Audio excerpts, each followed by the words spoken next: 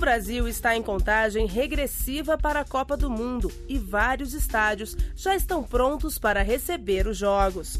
A Arena Fonte Nova, em Salvador, na Bahia, foi inaugurada recentemente. O antigo estádio foi completamente demolido para dar espaço a uma nova arena com um investimento total de 591 milhões de reais.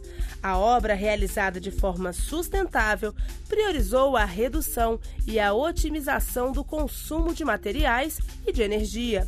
Entre as ações estão a reutilização de 100% do concreto e aço do antigo estádio, o reaproveitamento da água da chuva e o uso de energia solar. Mais informações no www.copa2014.gov.br.